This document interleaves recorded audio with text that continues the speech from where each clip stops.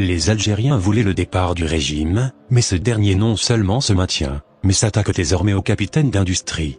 Une dérive autoritaire est en train de s'installer, alors que la révolution voulue par le peuple n'aboutit vraisemblablement pas. Le fait que Ali Haddad et les frères Kouninef, ainsi que leurs complices, fassent l'objet d'une enquête, les Algériens applaudissent, à cause de leur proximité avérée, voire revendiquée, avec le clan Bouteflika déchu. Cependant, pour le cas de Issa Rebrab, l'homme le plus riche du Maghreb, les interrogations fusent de partout. Le site d'information Tout sur l'Algérie craint ainsi une nouvelle dérive autoritaire, et estime que la gestion de l'après-Bouteflika est en train de prendre une tournure inquiétante. Le site attend que la justice communique sur cette arrestation spectaculaire, mais pour l'heure, il faudra se contenter que ce que les médias pro-gouvernementaux algériens en disent.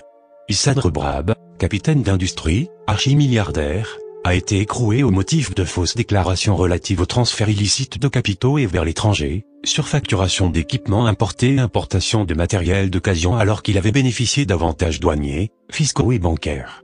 Si tout sur l'Algérie, Tessa, se pose des questions, c'est sans doute parce que Issa Rebrab n'a jamais été en odeur de sainteté auprès du régime de Bouteflika. À maintes reprises, il s'était plaint de persécutions.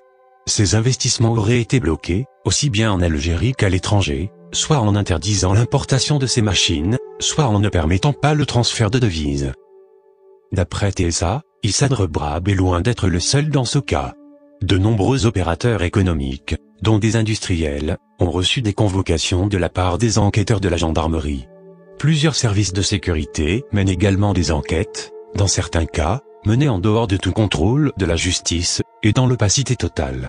Évidemment, quand les enquêtes sur des citoyens lambda sont menées en dehors du cours normal de la justice, les risques d'une dérive sont réels, conclut le journal électronique.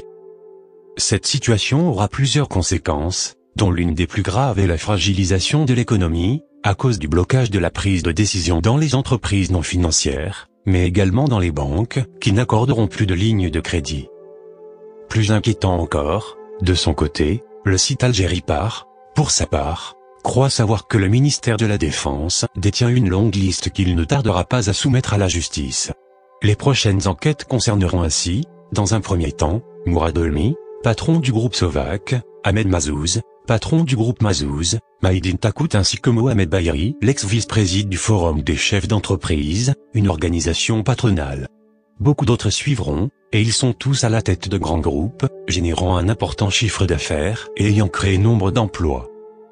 Dans un pays comme l'Algérie, qui a été très mal géré, et où, pour réussir en affaires, il fallait être dans les bonnes grâces du régime, il n'est pas difficile de mener une purge contre les plus gros investisseurs du pays. Bien entendu, le fait de fragiliser les entreprises n'est pas une décision des plus judicieuses, en cette période trouble que traverse le pays. Ce n'est pas, non plus, la réponse qu'attendent les millions d'Algériens qui sortent tous les vendredis dans la rue pour exiger le départ de cette même nomenclatura qui cherche désormais à noyer le poisson en menant une purge aussi inutile que dangereuse.